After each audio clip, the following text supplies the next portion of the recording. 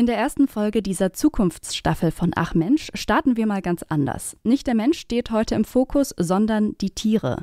Natürlich kann man hier einwenden, dass der Mensch ja auch nur ein Tier ist. Ja, aber warum hat der Mensch dann so viel mehr Rechte, beziehungsweise warum haben Tiere denn so wenige? Mehr dazu gibt's jetzt. Erstmal aber hi, mein Name ist Eileen Frozina. Schön, dass ihr zuhört. Ach Mensch, Schwerpunkt Zukunft. Ein Detektor FM Podcast in Kooperation mit der Max Planck Gesellschaft.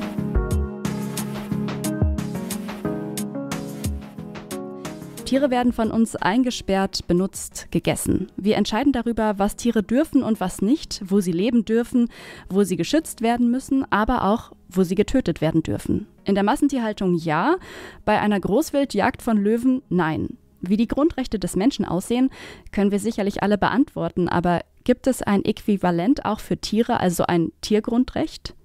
Mit unserem Verhalten zwingen wir unseren Lebensraum, Tiere und Natur in die Knie und zerstören unseren Planeten.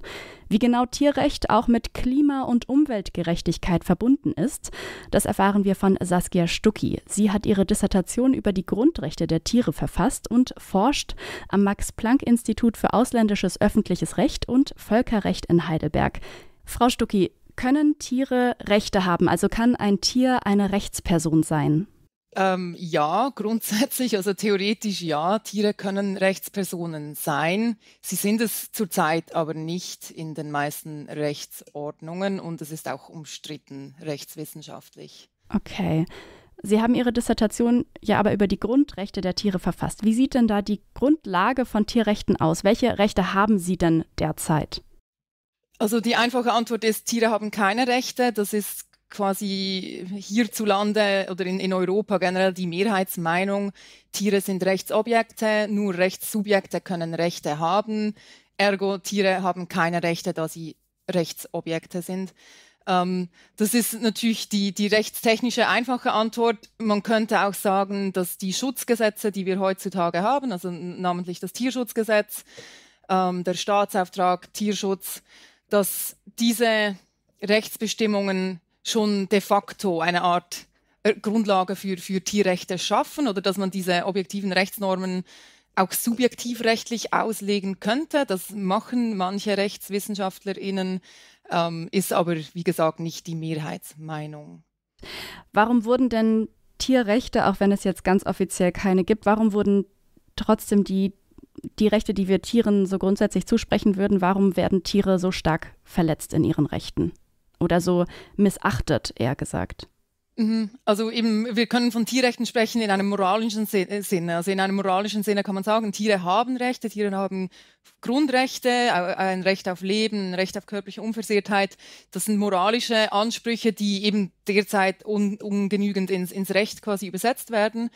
Ähm, und diese moralischen Tierrechte werden derzeit systematisch verletzt in dem Sinne, dass eben Milliarden von Tieren jährlich in, in, in, in Mastanlagen gehalten werden, gemästet werden, für Tage äh, in Tiertransporten feststecken und dann schlussendlich im, im Schlachthof landen und dort ja, getötet werden, in Tierversuchslaboren, in, in, teilweise auch in der Heimtierhaltung. Also da gibt es überall eigentlich eklatante Missstände, die fundamentale Interessen von Tieren an körperlicher Unversehrtheit, ja. Leben, Freiheit beeinträchtigen oder massiv einschränken. Mhm. Und warum ist das in den, jetzt wenn ich dran denke, so in den letzten Jahrzehnten so stark gewachsen, diese ganze, dass wir Tiere als Ressource quasi sehen? Ja, gut, das äh, hat seinen Anfang, oder also das, da kann man viele viele Ursprünge identifizieren. Mhm. Ähm, ich glaube, ein wichtiger eine wichtige Kehrtwende war sicher die Industrialisierung, die äh, generell ja zu einer Automatisierung, Rationalisierung, ähm, Effizienzdenken im, im, in der Produktion geführt hat. Und das hat auch in der Tierproduktion große, einen großen Wandel bewirkt, hin zur, eben zur billigen Massenproduktion, ähm, in der Tiere einfach effizient und nach ökonomischen Prinzipien ähm, produzieren und verwertet werden. Ich glaube, das ist sicher ein wichtiger Faktor. Ähm, und dann ein anderer ide eher ideologischer Aspekt ist ähm, die aufklärerische, äh, rationale Vernunft, Ethik, ähm, die generell den Menschen als Vernunftwesen hervorhebt, äh, aus der Natur heraushebt und, und mit dem Tier, dem, dem vernunftlosen Wesen quasi kontrastiert. Und das hat auch quasi ideologisch dazu geführt, dass sich der Mensch ähm, dieses Vorrecht nimmt, Tiere als, als, als Naturwesen zu nutzen und, und, und auszubeuten und eben als, als primär als natürliche Ressource zu sehen und nicht als, als, als fühlendes Mitlebewesen. Mhm. Wer kontrolliert das denn eigentlich, was es für, wie Tiere behandelt werden? Also einerseits unsere Gesellschaft natürlich. Ähm, das, ist, sind, das, ist, das sind historisch kontingente Wertvorstellungen, die sich verändern können. Ähm, die Moral spielt eine Rolle als normatives System. Was, was, was schreibt die vorherrschende Moral vor, wie wir mit Tieren umgehen sollen, dürfen? Ähm, und dann aber am, am stärksten natürlich das Recht schlussendlich. Also das Recht verbürgt, äh, verbürgt intersubjektiv gültige Regeln, an die wir uns halten müssen, egal ob es unserer Moral entspricht oder nicht. Mhm. Ähm, und deswegen finden sich im, im Recht, im Tierschutzrecht zum Beispiel, ähm, allgemeingültige Mindeststandards, wie wir mit Tieren umgehen sollen und müssen. Aber werden die in der Realität dann überhaupt eingehalten? Das ist ein großes Problem. Also das ist ein, natürlich ein allgemeines Phänomen zwischen Law in the Books und Law in Action. Also wie das, das, das eine ist, äh, Gesetze zu haben, das andere ist, wie werden diese umgesetzt und implementiert. Mhm. Ähm, Im Tierschutzbereich ist das besonders problematisch, dieses Vollzugsdefizit. Also da ist es vor allem in der Agrarwirtschaft ist es äh, ein großes Problem, dass die Tierschutzgesetze nicht genügend vollzogen werden in, eben in Tierfabriken, in Schlachthöfen, im, auf dem mhm. Tiertransport. Mhm. Wie sieht es denn international, auf internationaler Ebene aus? Gibt es denn da Länder, in denen Tiere mehr Rechte haben? Ja, also eben immer eine Frage der, der Semantik auch oder des Diskurses. Also in manchen, äh, vor allem im angloamerikanischen Raum, ist es üblicher, von Animal Rights zu sprechen, die es schon gibt also was wir Tierschutzgesetz nennen, wird dort öfters auch mal Animal Rights genannt. Ähm, aber eben in, in diesem eigentlichen strengeren Sinne, wie ich es jetzt vorhin beschrieben habe, ist es eigentlich fast nirgends so, dass Tiere als Rechtsträger, als Rechtssubjekte anerkannt sind. Aber es gibt sehr interessante Entwicklungen in den letzten Jahren global, wo tatsächlich ähm, einzelne Gerichte Tiere als Rechtssubjekte, als Rechtspersonen, als Träger von fundamentalen Rechten anerkannt haben. Das heißt, mhm. es ist im Moment weltweit ähm, so ein bisschen ein Umbruch oder ein Aufbruch zu beobachten und das ja bleibt abzuwarten und es ist eine sehr spannende Entwicklung, eben wo das hinführt und äh, meines Erachtens könnte das durchaus jetzt der Beginn sein eine, eines massiven Paradigmenwechsels, sage ich, im Recht vom, vom Objektstatus hin zum Subjektstatus der Tiere. Mhm. Haben Sie da international gesehen ein Beispiel? Ja, also vor allem in, in, äh, in Lateinamerika, also in Argentinien, in Kolumbien, in Brasilien und jetzt kürzlich auch in Ecuador gab es da bahnbrechende Gerichtsentscheide. Mhm. Also zum Beispiel das Verfassungsgericht in Ecuador hat vor einigen Monaten einen Grundsatzentscheid quasi ge gefällt äh, zur Verfassungsbestimmung der Rechte der Natur und hat diese quasi auch auf individuelle Wildtiere angewendet und, und ausgelegt, also ziemlich ausführlich ausgelegt, wie, wie einzelne Tiere unter diese Rechte der Natur Verfassungsbestimmung fallen und eben das auch Rechte der Tiere beinhaltet. Mhm. Und andere Beispiele finden sich auch in Pakistan, ähm, in Indien und in den USA, zwar nicht erfolgreich bisher, aber da gibt es auch sehr, eine sehr ähm, lebhafte äh, Strategic Litigation äh, Kultur, die, die da für ähm, Elefanten und Schimpansen Grundrechte einfordert. Mhm. Warum sind denn jetzt gerade so die was die Rechtsgrundlage angeht von Tierrechten in, in Lateinamerika. Warum ist es da vielleicht ein bisschen fortschrittlicher als hier? Ja, also es ist auf jeden Fall interessant, das zu beobachten, dass die großen Entwicklungen im Tierrecht oder für die Tiergrundrechte bisher eben in, in vor allem in Lateinamerika und in, in Indien und Pakistan stattfinden. Ähm, ich kann da nur mutmaßen, ein, ein offensichtlicher oder augenscheinlicher Grund oder Vermutung wäre, dass in Lateinamerika äh, ein, ein anderes Naturverständnis oder, oder ein anderes Verständnis des, des Mensch-Natur-Verhältnisses vielleicht vorherrscht. Ähm, dieses Pachamama-Denken und zum Beispiel in Ecuador eben, das ist auch einer der ersten oder die, glaube ich, die erste Verfassung, die eben die Rechte der Natur verbürgt und, und eben diesen Schritt vom anthropozentrischen Rechtssystem hin zu einem ökozentrischen oder biozentrischen Rechtsdenken gemacht hat. Und das, das wirkt sich natürlich auch dann auf die, auf die Rechtsmentalität in den Gerichten aus. Mhm. Mhm. Jetzt haben Sie gerade schon die beiden Ansätze beschrieben, ökozentrisch und anthropozentrisch. Können Sie die kurz näher erklären? Ja, also Anthropozentrismus heißt, der Mensch steht im Zentrum. Das ist zum einen, also eben das, das Recht ist von und durch Menschen gemacht, aber auch für Menschen. Also das, der Mensch ist eigentlich traditionell das einzige Wesen, das im Rechtssystem ähm, von Belang ist.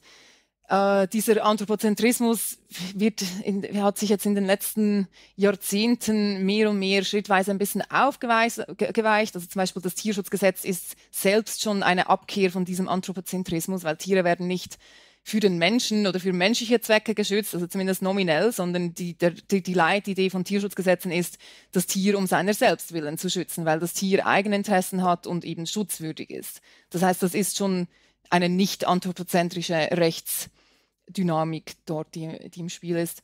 Und äh, Ökozentrismus oder eben Biozentrismus geht dann nochmal einen Schritt weiter. Also, also die tierethische Grundlage ist in der Regel der Pathozentrismus, also das zentrale Kriterium ist die Leidensfähigkeit. Ökozentrismus oder Biozentrismus spannt das dann nochmals weiter und, und hat eben eher diesen holistischen Ansatz, ähm, dass äh, auch Ökosysteme und die Natur als solche ähm, als, als, als relevante Rechtsentitäten eigentlich in, in, in den Blick genommen mhm. werden. Warum werden denn Tierrechte generell jetzt erst so langsam in den Fokus gerückt? Sie haben jetzt gerade gesagt, auch in den USA gibt es da Bestrebungen. Ist der Klimawandel und damit auch das wachsende Bewusstsein jetzt gerade für die Wichtigkeit der Natur ein Faktor oder was sehen Sie da als treibende Kraft? Also ich glaube, das ist sicherlich ein, ein, ein wichtiger Faktor, dieses, diese Dringlichkeit, die aufgrund der Klimakrise und, und des, ja, der Umweltzerstörung entstanden ist. Ich, ich denke aber, es, also, das, es gibt da viele Faktoren, die im Spiel sind. Also zum einen eben diese, dieser tierethische Diskurs, den wir eigentlich seit den 70er Jahren jetzt führen, hat, glaube ich, schon die Grundlage gelegt. Also das ist jetzt mittlerweile im Mainstream angekommen. Tierethik wird überall an den Universitäten gelehrt. Ähm, das, also das ist jetzt mittlerweile von einem Fringe-Topic zu einem Mainstream-Topic geworden, die, die Tierfrage. Von daher äh, ist, hat das eben ein paar, paar Jahrzehnte gedauert, aber ich glaube, das hat sich jetzt mittlerweile etabliert, dass das ein, ein ernstzunehmendes Thema ist. Und das, das sind aber dann eben eher so die, die intrinsischen oder, oder ethischen Gründe, für, aus denen man Tierrechte ähm, vielleicht anerkennen könnte. Und dazu kommt jetzt eben mit der Klimakrise und diesem Umwelt Schutzgedanken noch quasi der, die, die instrumentelle Gründe, also oder eigennützige Gründe. Es ist aufgrund des starken Zusammenhangs zwischen unserer Ausbeutung von Tieren und der Natur und der eben Umweltzerstörung, Klimakrise wird jetzt auch mehr und mehr ein Bewusstsein oder kommt jetzt mehr und mehr ein Bewusstsein auf, dass, dass dass es auch für Menschen nicht gut ist, dass es, dass es uns schlussendlich unsere eigene Lebensgrundlage zerstört, wenn wir eben die Natur zerstören. Und, und also eben die, Tier, die, die Tierlandwirtschaft ist einer der treibenden Faktoren oder, oder Mitverursachern von, de, von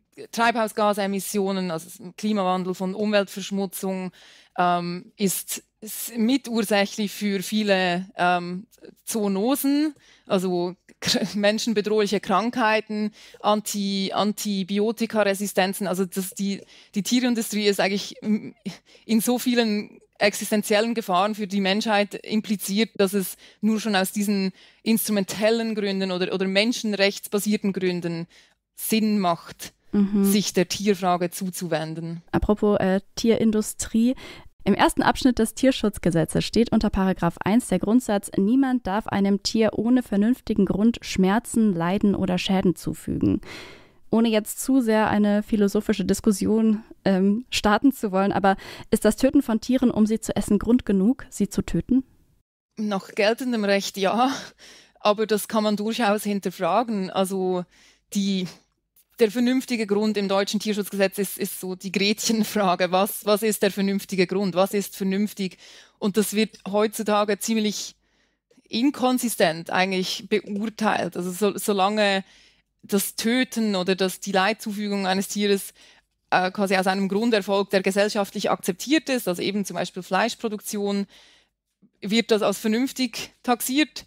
Wenn es aber irgendwie sadistischen Gründen gilt oder oder ähm, das oder zum Beispiel wenn man sich äh, dem dem Hund der, der Hund wird nervig und man will den Hund loswerden, das das gilt dann nicht als vernünftiger Grund. Also es ist eine ziemliche Diskrepanz zwischen quasi individueller Gewalt gegen Tiere und kollektiver Gewalt. Die kollektive Gewalt gegen Tiere, die die wir eben milliardenfach gegen gegen Schweine, Rinder, Hühner jährlich ähm, vollziehen, das, das ist quasi ein blinder Fleck im geltenden Tierschutzgesetz. Und eben, also nach geltendem Recht ja, vernünftig, rechtsphilosophisch kann man das durchaus als unvernünftig bezeichnen, dass wir Tiere aus bloßem kulinarischen Genuss, äh, dass wir eben Milliarden von Tieren ähm, dafür messen und quasi im Kindesalter auch dann töten.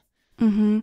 Jetzt haben Sie gerade schon gesagt, äh, einen Hund würden wir jetzt nicht töten. Das ist ja so ein bisschen so zwischen, ja, die Tiere, die wir uns irgendwie, zu denen wir eine Beziehung aufgebaut haben, versus die Tiere, die wir wirklich rein als Nutztiere sehen. Macht da das Tierrecht oder sollte das Tierrecht da Unterschiede machen?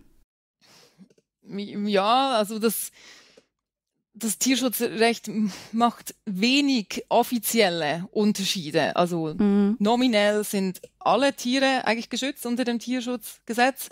Empfindungsfähige Tiere erfahren noch einen, einen potenzierten oder spezielleren Schutz, eben weil sie empfindungsfähig sind. Äh, und dann gibt es natürlich Spezialregeln, je, nach eben, je nachdem, ob ein Tier, ein Tier ein Nutztier ist oder ein Haustier oder, oder ein Versuchstier, dann gibt es spezielle Rechtsregime, die das regeln. Aber grundsätzlich finden sich wenig Bestimmungen, die sagen, Hunde behandeln wir wie Götter und, und Schweine behandeln wir wie Abfall. Also das wird im Gesetz so, das ist eher eigentlich auch eine de facto oder wie, wie diese Bestimmungen ausgelegt werden, eben durch, durch die Behörden, durch, durch die Gerichte. Und dort fließt dann natürlich, fließen dann maßgeblich auch einfach vorherrschende Wertvorstellungen in der Gesellschaft ein. Und, und wenn, wenn es in unserer Gesellschaft so gehandhabt wird, dass, dass wir Katzen und Hunde lieben und, und Schweine und, und Rinder essen, dann, dann, wird, dann fließt das auch ins, in die Gerichtsentscheidungen mit ein. Mhm. Wie sollten denn Tierrechte Ihrer Meinung nach gelebt werden? Was, was muss sich da so politisch, juristisch in Deutschland, aber auch international noch ändern? Also im Prinzip ist, sind Tierrechte wie auch Menschenrechte, das ist ein Work in Progress. Also das ist, das, das ist ein andauernder Prozess zur Verbesserung, Verfeinerung, Weiterentwicklung.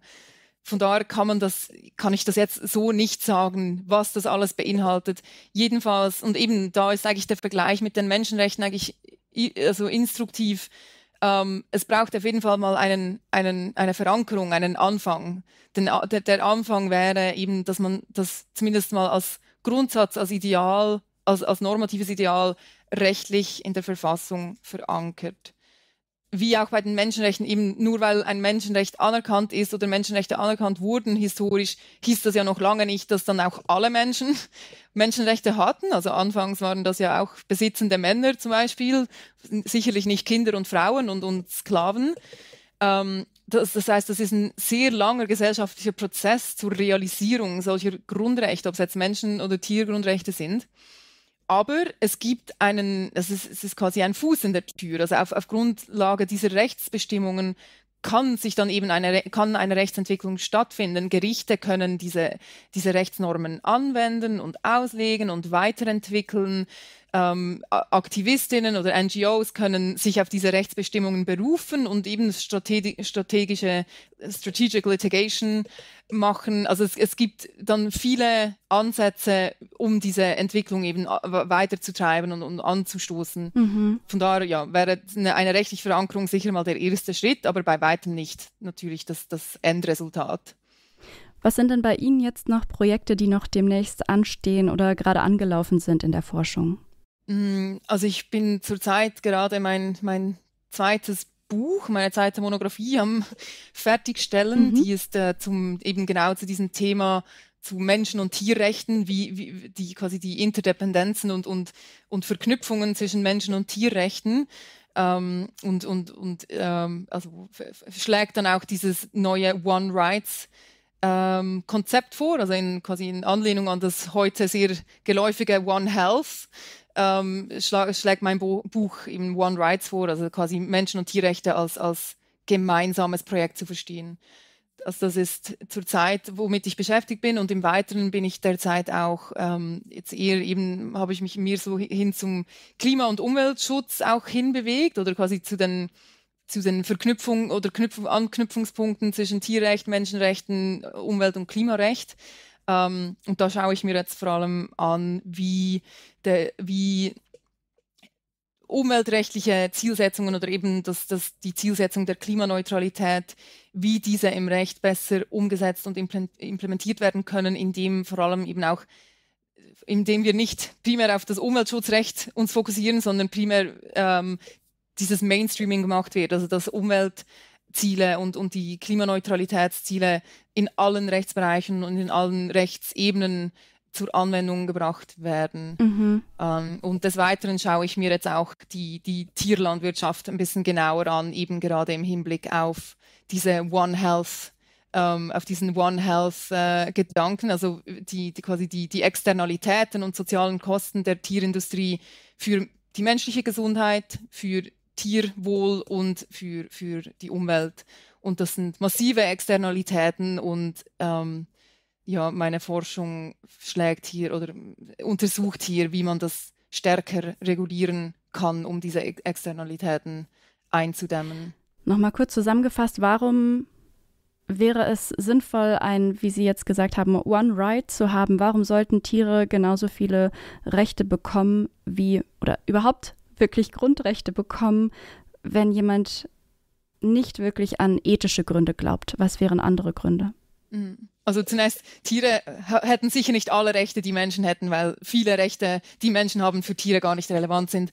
Die Grundidee eben ist, dass, dass vor allem im heutigen Zeitalter des Anthropozäns Menschen als natürliche Lebewesen, als Tiere e e extrem vulnerabel geworden sind, eben gegenüber dieser Umweltzerstörung und gegenüber diesen Faktoren und dass es sich heute aufdrängt, Menschenrechte nicht in Isolation zu, zu Umweltschutz und Tierrechten zu betrachten, sondern eben diesen einheitlicheren, holistischen Ansatz zu gehen, der anerkennt, dass Menschenrechte und Tierrechte interdependent sind, dass, dass wir, wenn wir Tierrechte systematisch verletzen, dass das auch Menschenrechte untergräbt, dass das auch Menschen schadet.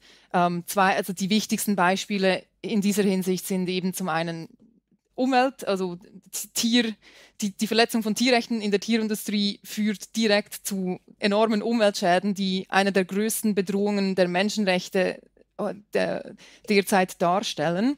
Und zum anderen aber auch wie soll, äh, soziopolitische oder sozialpsychologische Gründe. Also es gibt ähm, mittlerweile viele interessante Forschung, die zeigt, dass, dass diskriminierende an, äh, Ansichten, also äh, Sexismus, Rassismus und Speziesismus, dass die verwandt sind. Also jemand, der sexistisch und rassistisch ist, wird auch speziesistisch sein und mhm. umgekehrt. Mhm. Und dass auch Gewalt, also vor allem kollektive Gewalt gegen Menschen und Tiere, dass da sehr wichtige Links bestehen. Also das, das meist bekannte Phänomen ist hier die Dehumanis Dehumanisierung, animalistische Dehumanisierung. Also in der Regel, wenn große Genozide oder Gewalt, äh, kollektive Gewalt gegen, äh, gegen Menschen, äh, wenn das passiert, wird das in der Regel vorbereitet durch die animalistische Dehumanisierung dieser Menschen. Das heißt, diese Menschen werden als Tiere oder, äh, oder Untermenschen dargestellt und eben weil es gesellschaftlich legitimiert und akzeptiert ist, dass wir Tiere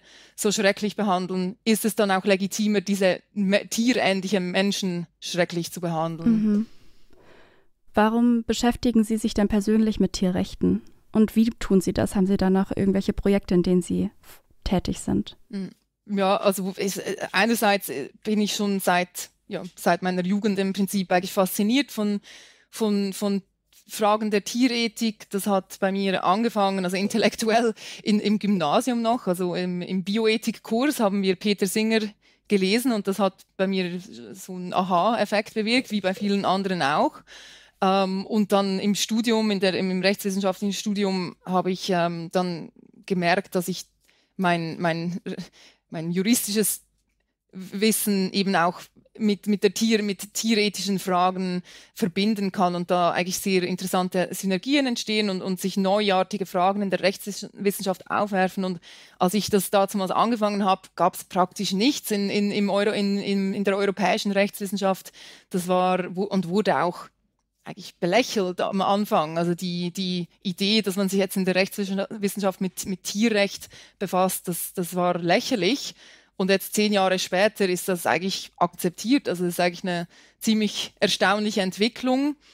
Ähm, und eben, also als Rechtswissenschaftlerin ist, ist es einfach ein unglaublich spannendes Gebiet. Also es, wär, es, es stellen sich grundlegendste Fragen der Rechtstheorie und, und de, de, de, des Rechts. Also eben, was ist eine Rechtsperson? Wer, wer, kann Rechtsperson sein? Was sind Rechte? Was sind Grundrechte? Was sind Menschenrechte? Wieso haben nur Menschenrechte?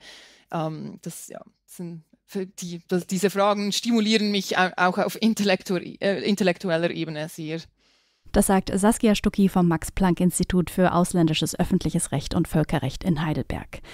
Der Naturschutz, unter den natürlich auch die Tiere fallen, war lange genug dem Menschen untergeordnet. Große Energiekonzerne haben Rechte, die Natur, die darunter leidet, nicht. Wenn es bestimmte Praktiken gibt, die den Menschen nutzen, steht die Natur meist hinten an. Dass wir unsere Lebenswelt Natur und Tiere beginnen müssen wirklich zu schützen, das hat mittlerweile ja aber nicht nur noch ethische Gründe. In der nächsten Folge in zwei Wochen blicken wir dann auf das Thema Migration. Und wenn ihr das nicht verpassen wollt, dann folgt doch diesem Podcast einfach in eurer Podcast-App, dann erscheint sie direkt in eurem Feed. Damit sind wir am Ende dieser Folge. Ich bin Eileen Fruzina und ich freue mich, wenn ihr auch beim nächsten Mal wieder mit dabei seid. Bis dahin, ciao. Ach Mensch, Schwerpunkt Zukunft. Ein Detektor FM Podcast in Kooperation mit der Max Planck Gesellschaft.